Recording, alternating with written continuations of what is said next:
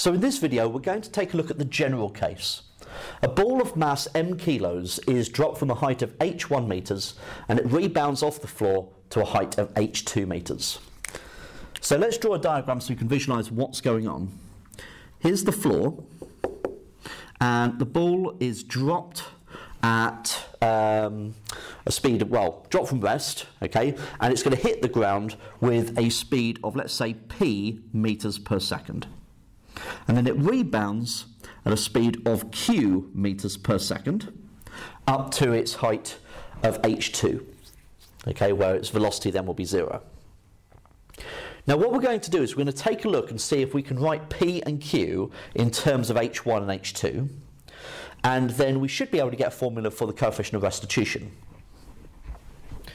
So let's take a look at the downward motion first. So taking downwards as positive, so the before.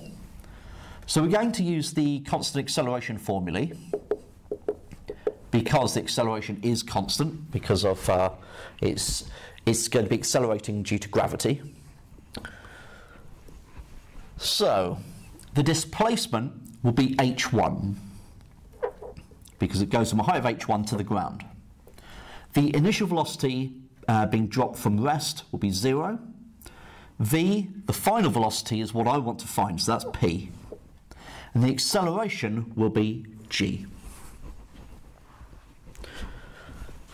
So if we use v squared equals u squared plus 2as, we can write p squared is going to be equal to 0 plus 2gh1.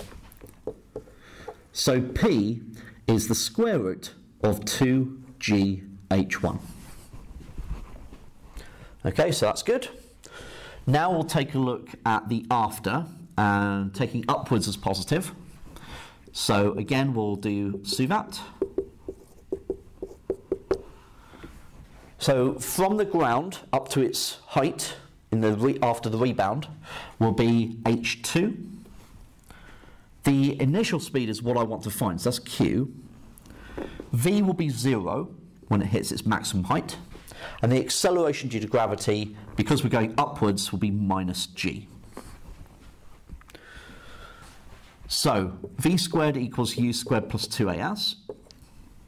So 0 is going to be equal to q squared plus 2 times minus g times h2. So q squared will be 2gh2. So q will be the square root of 2gh2. So we now have p and q. Now the coefficient of restitution is the speed of separation, so q, which is the square root of 2g h2 divided by the speed of approach, 2g h1. Now we can write that in a single square root, and we'll have 2g h2 over 2g h1. And of course the two g's can cancel. So that will be the square root of h2 over h1. Alternatively, you can write that as e squared is h2 over h1. Okay, and so that gives us a uh, simpler form for finding E in this context.